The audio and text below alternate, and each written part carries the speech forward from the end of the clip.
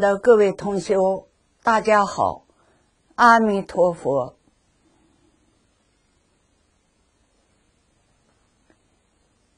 这节课我们讲第十五品经文《菩提道场》第十五，请看下面一段经文：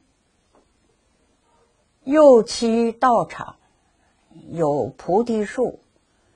高四百万里，七本周围五千由心，枝叶四部二十万里，一切众宝自然合成，花果芙蓉，光辉遍照，复有红绿青白诸摩尼宝，众宝之王，以为璎珞，云聚宝所。饰柱宝柱，金珠灵朵，周匝条间，真妙宝网，罗覆其上，百千万色，互相映饰，无量光颜，照耀无极，一切庄严，随应而现。我们先来解释一下什么是道场。道场，简而言之，修道之处叫做道场。详而说之，有五个意思。这是黄念老为我们解释的。第一个意思，指世尊于印度菩提树下成道之处，名曰道场。这个解释。是佛门一个普通说法。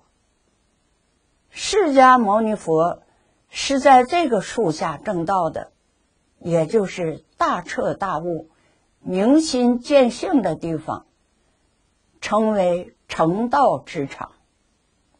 第二个意思，指得道之行法，如《维摩经》曰：“直心是道场。”直心，中国人讲至诚心，真诚到极处，这就是道场。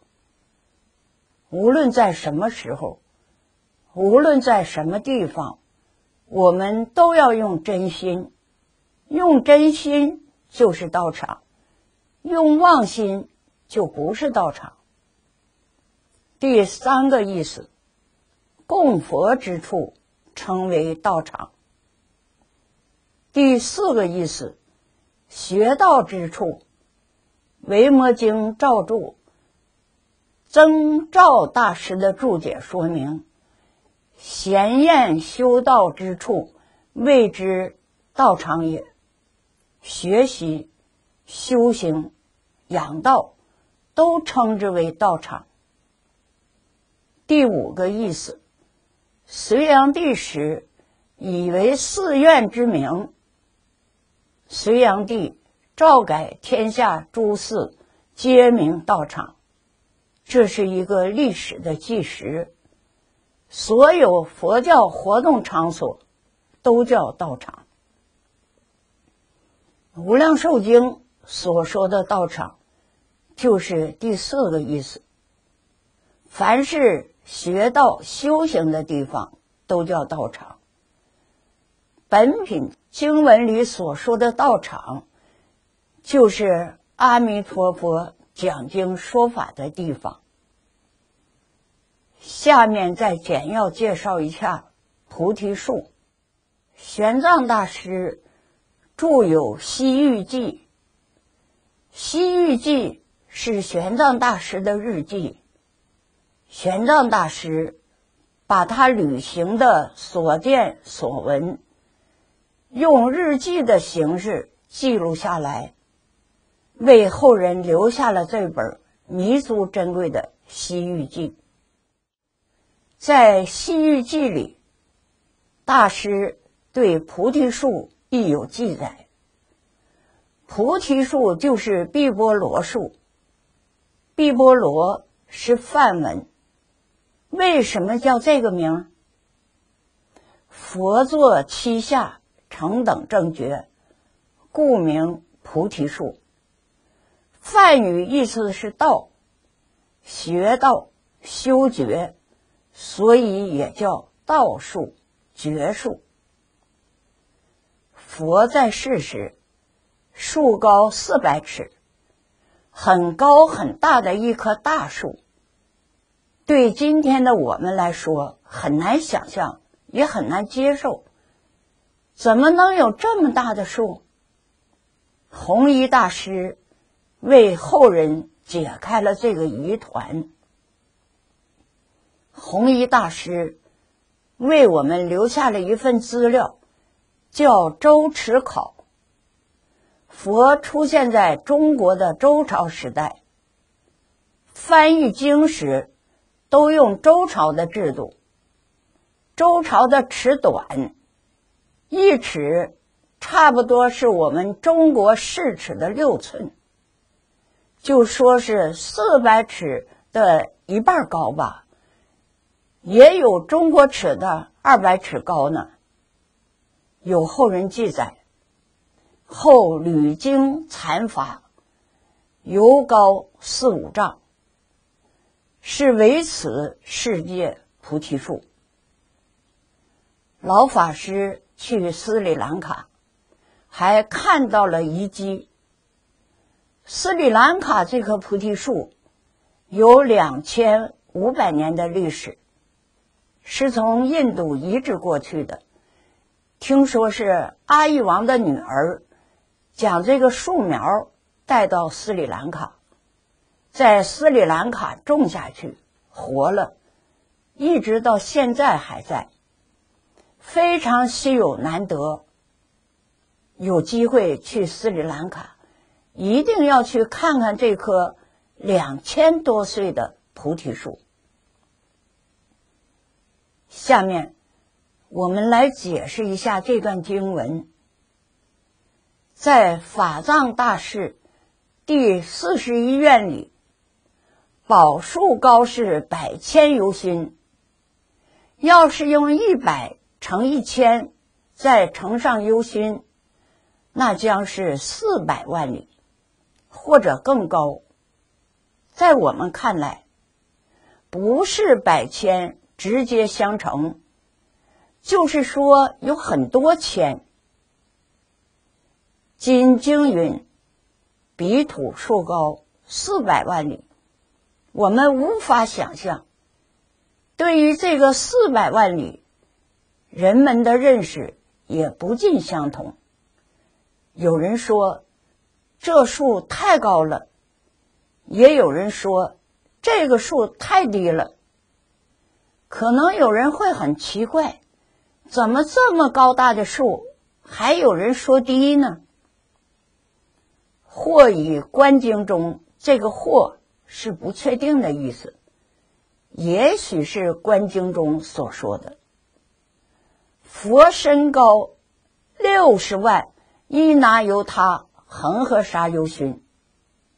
如果照这个看起来，佛的身太高，树太小了，则显佛高树低，量不相称。佛的身体。是六十万亿，那由他恒河沙由心，这个高，太高了。这个树高四百万里，那就像一棵小草一样，甚至有人都看不到它。佛高树低，量不相称。有人说，树高四百万里，太高了。地球到月亮，可能还不到四百万里。假如地球上有这棵树，那就会妨碍月亮的运行。这么高的树还了得？地球太小，容不下这么高大的树。这么大的树搬到地球上，地球早就脱离轨道了。这是另一种认识。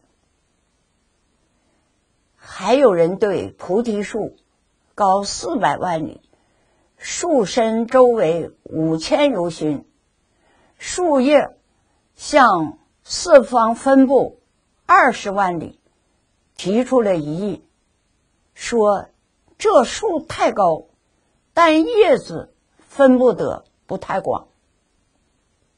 对于上述几个问题，我们看看黄念祖老居士和老法师是怎样解释的。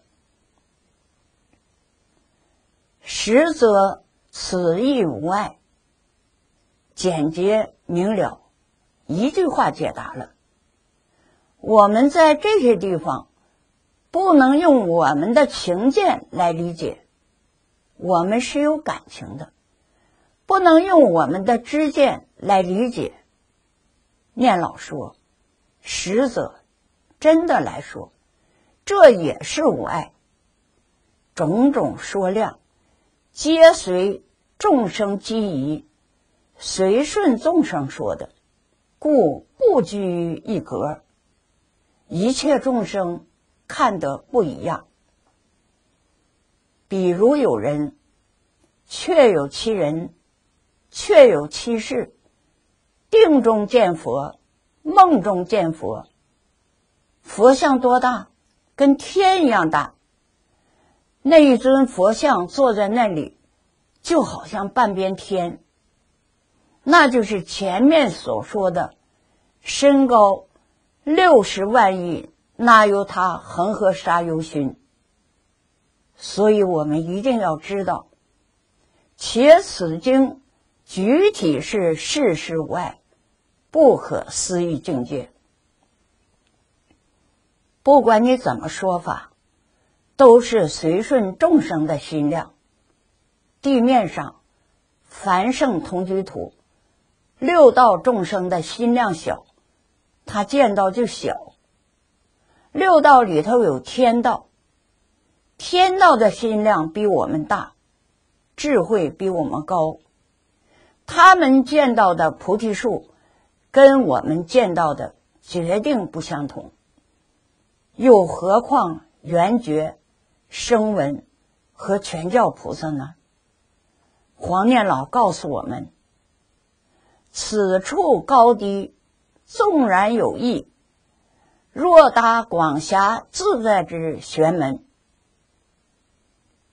无量寿经具足华严的十玄门。十玄门说什么？事事无碍，理事无碍。大乘经上都有，世事无碍，唯独华严。佛在其他经上没说过，但在本经里头十玄，世事无碍，完全具足。这一点我们要知道。所以，若达广狭自在之玄门，则恰入一切无碍之法界。极乐世界，世尊为大众介绍，大众根性不相同，世尊一因而说法，众生随类各得解，这个法才叫妙法。从一切众宝自然合成，真妙宝网罗覆其上。一共九句经文，这九句经是显现菩提树的庄严。树已经非常高大，还有这么好的东西来装饰，这个树的庄严，我们无法想象，也说之不尽。一切众宝，这是显菩提树的庄严。自然合成，表弥陀大愿大力之成就，自然如是，不假造作。没有人去设计，没有人去制造，连树上这些花果、光辉、众宝，或者是璎珞，或者装饰在宝柱，宝柱就是这棵树的主干、枝干，都用得上。这些都不需要人造作，自然如是。花果芙蓉，芙蓉，肤是开显的意思，荣，繁盛名利的意思。这个菩提树的花与果，开显的繁茂旺盛，呈现出欣欣向荣的景象，并且放大光明，遍照一切处。富有红绿青白，诸摩尼宝，众宝之王，以为璎珞。这四句经文。是显树上之庄严。往生论记言：无量宝交落，罗网遍虚空，种种灵发响，宣吐妙法音。正与这几句经文相应。往生论上所说的，就是这段经文：无量宝交落。许许多多的宝，我们这里没有，也没有名字，只能用我们这个世间的七宝来形容，实际上差得太远了。为什么？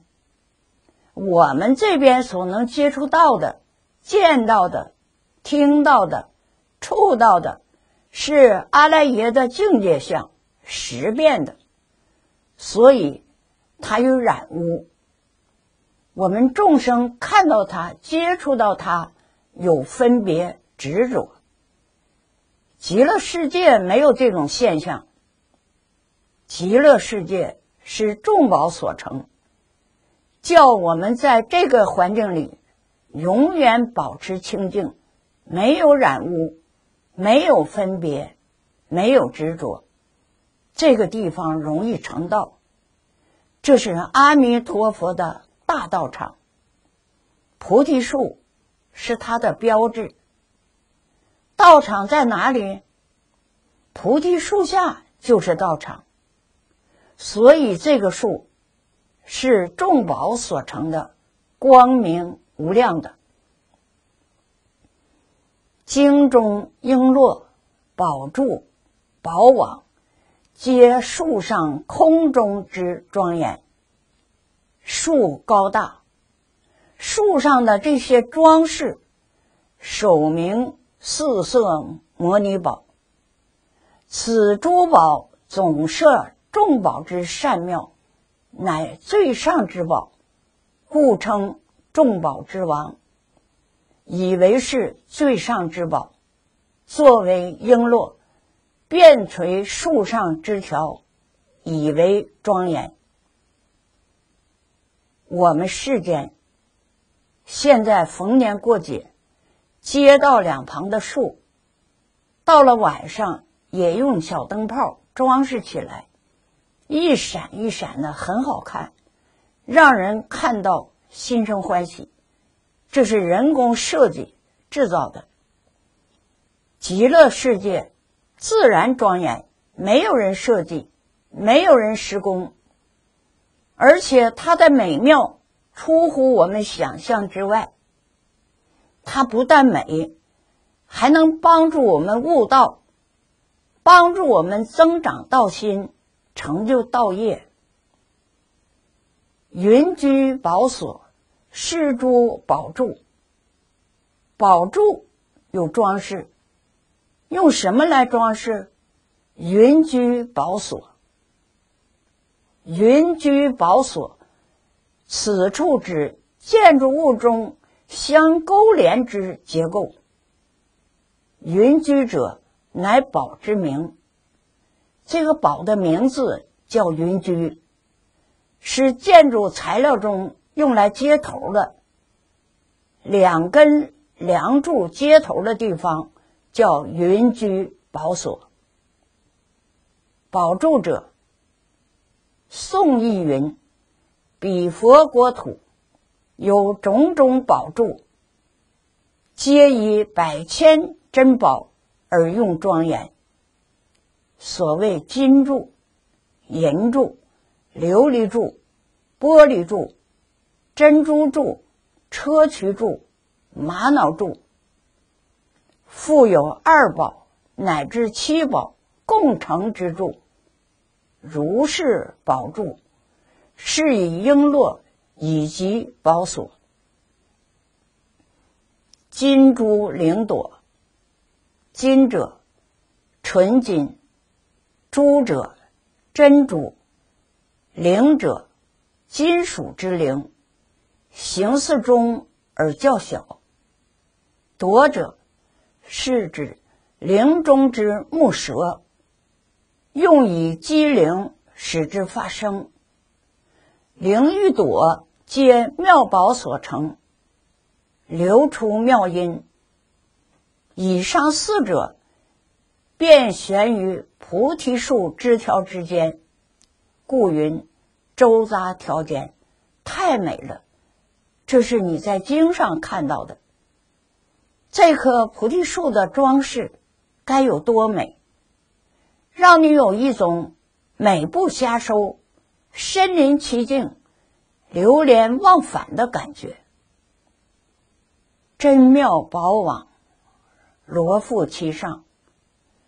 真妙宝网者，唐译曰：又以纯金、珍珠、杂宝翎朵以为其网，故知宝网。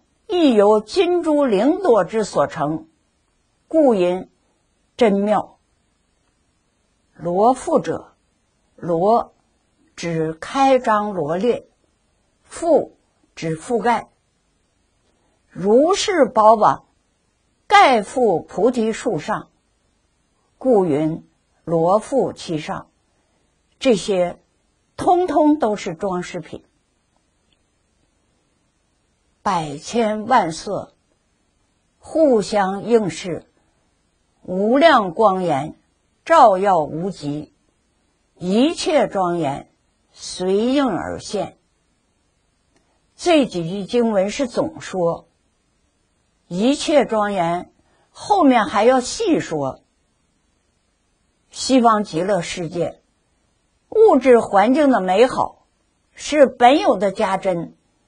不是向外求得的，你只要从心性当中求，自然就现前。色彩太多，美不胜收。因为众宝都放光，一正都放光明，照耀无极。西方极乐世界不需要日月灯明，所以它是光明世界。也称为香光世界，香光庄严。极乐世界的光是无限极的，一切庄严随应而现，一切庄严随着众生的感，自然它就应。感应道交不可思议，一切庄严之相。普应群机，变化不居，随意而现。世尊给我们介绍西方极乐世界的生活环境、学习环境，用什么来形容？是用《华严经》上两句话：“理事无碍，事事无碍。”十方世界都有障碍，极乐世界没有障碍。样样称心如意，请看下面经文：微风徐动，吹竹枝叶，演出无量妙法音声，七声流布，遍诸佛国，清唱哀亮，微妙赫雅，十方世界音声之中。最为第一。这一段经文是说宝树之德奇妙不可思议，显极乐世界宝树演说妙法的不可思议功德。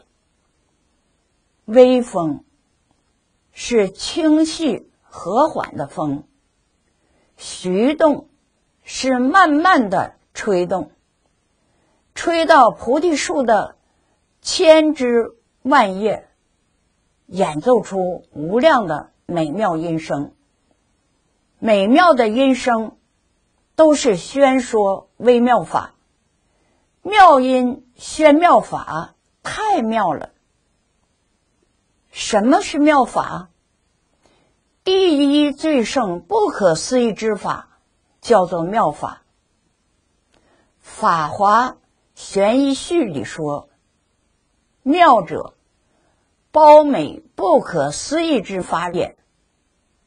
风吹宝树之叶，所发音声，演说不可称量之微妙法音，故云。”演出无量妙法音声，七声流布，这个音声就流通散布诸方，遍满一切佛国。菩提树所发的法音清净通畅，哀亮，能引发听者升起。悲悯众生的心，好的音乐总是含一点悲意。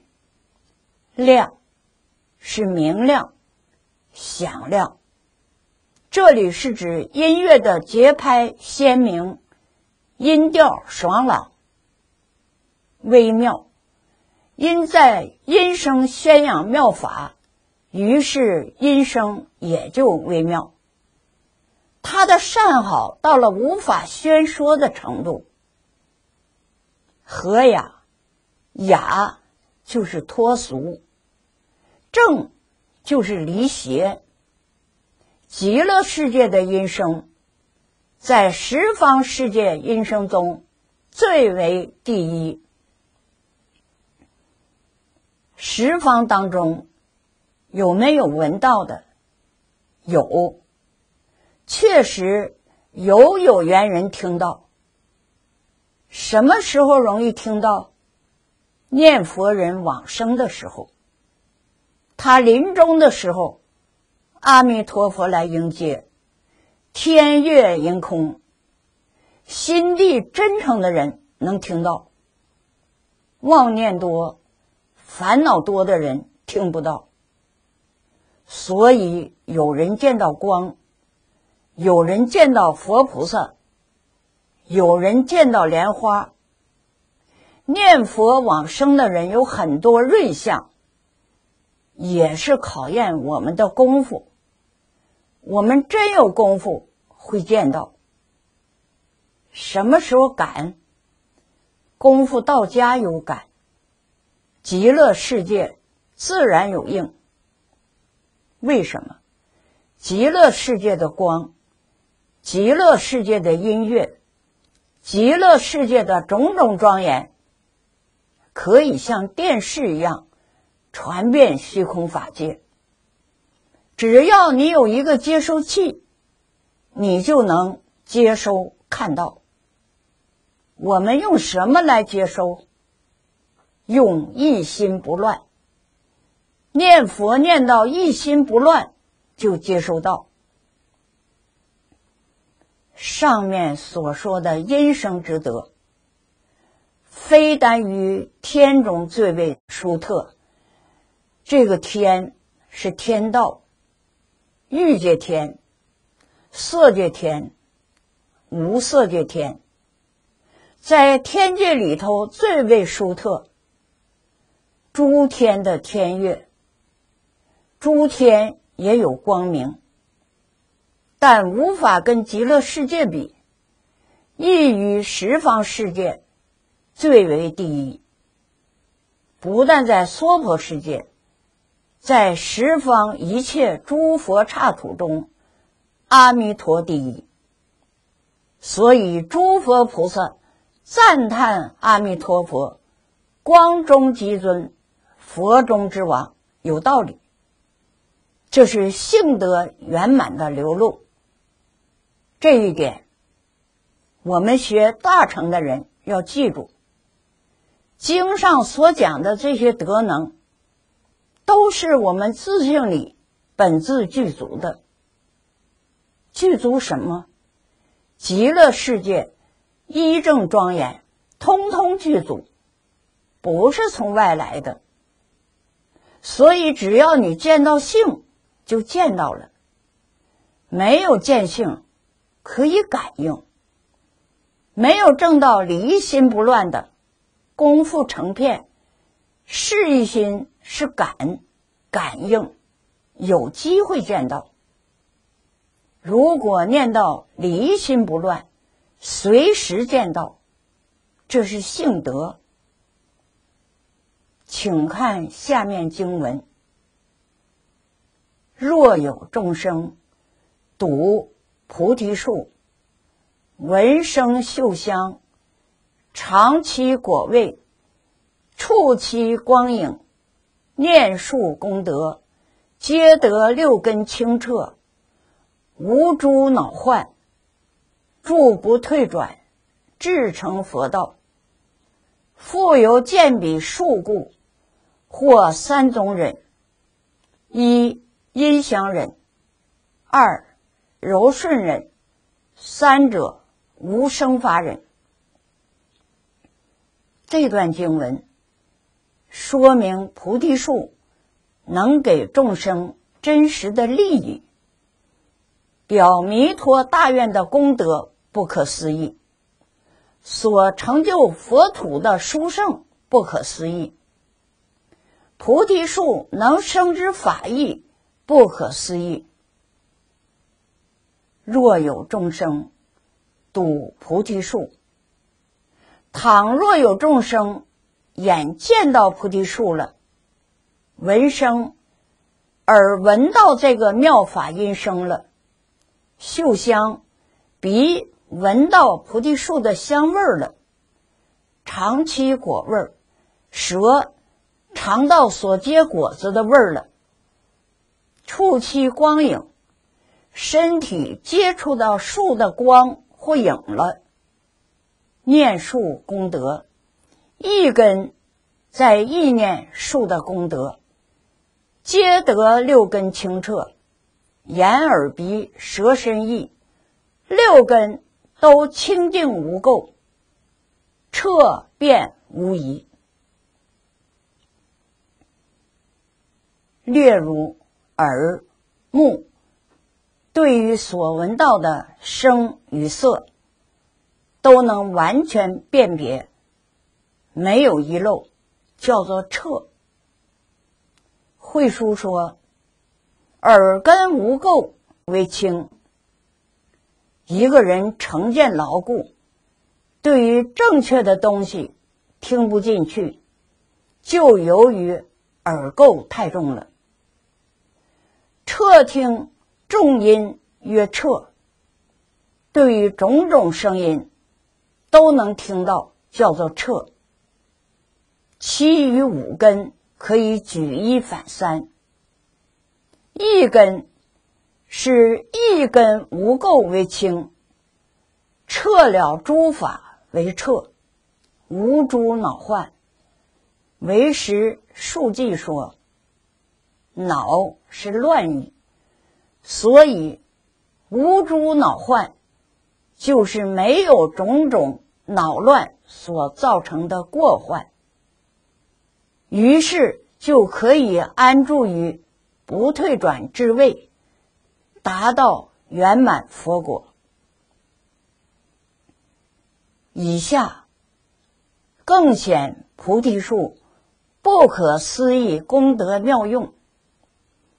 又因为能看菩提树的缘故，可以得到三种忍：一阴香忍，二柔顺忍，三无生法忍。极乐世界的增上真是登峰造极。三种忍的含义是：阴相忍，静影书曰。寻声误解，知声如响。就是说，从生开悟，于是知道一切都如山谷的回响，只是回响而已，根本没有人说话。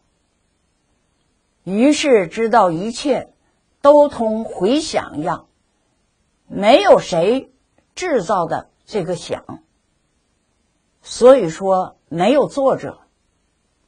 了解了以上的真实意，叫做音相忍。这是二地以上菩萨的境界。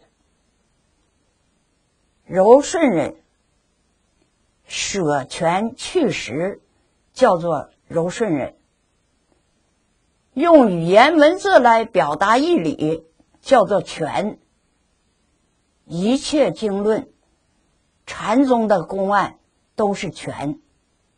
正是指月的标，许多人就抓住这手指头，要从手指头上找到月亮，那就请到驴年吧。现在的眼全都舍掉了，双眼正对着月亮，这就是舍权去实，所以舍离言权。去入实相，得柔顺忍，这是四地、五地、六地菩萨的境界。到七地以上，就正入实相，离一切相，这才是无生法忍。正入实相，离开一切相。安住于无生法中，是七地以上菩萨的境界。见到菩提树，就得这三种忍，足证弥陀的愿力与无上威神功德力都不可思议。弥陀书抄解释无生忍有两种，一种从法上说。一种从修行说，从法上说，种种没有起念、没有造作的实际离体，叫做无声；具有无为智慧的心，在离体上安住，叫做忍。也就是说，无生法就是远离生灭的。真如实相离体，真智安住在这个离体上不动，叫做无生法忍。大制度论说，于无生灭诸法实相中，信受通达无碍不退，是名无生忍。智论开示的很清楚。对于本没有生灭的诸法实相，能够一信受，二通达，三无碍，四不退，就是无生法忍。从形上说，更上一层楼。书超说：“暴行纯属至明于理。”无相无功，况若虚空；战如停海，心识妄惑。既然不起，方曰无声。文中暴行，是对有功用的吉行而说的。吉行只心心精进，念念勤修，加功。用力，堕在有功用道中，这是七地以上菩萨的境界。于是渐增，转为报行，并且纯熟。报行是无功用道，不必起意运心，自然任运流入如来智海。这是八地菩萨的境界。这时，自心真智与离体冥合，离体无相、无为、无功，无相形容无另外之体，知是以智慧为体，智与理不二，所以形与理相通，也无相、无为、无功、无相。都是广大如虚空，清湛似止水。这时，慧日朗照，心识种种妄惑自然不起，这才叫做得无生法忍。菩提树功德，能令看见者未登八地。正因极乐即是华藏。华藏世界，一真法界，十玄妙门全在极乐，全体包括一一局部，这是富人小孩都知道的常识。可是局部包括全体，乃现代科学所证实的华严玄门。见数，就是见整体的。华藏世界圆满具足一切功德，见数得忍，不算分外，并且这是华严十玄门中托事显法生解门。从具体事项，可以开佛之见，是佛之见，立即悟入佛之之见。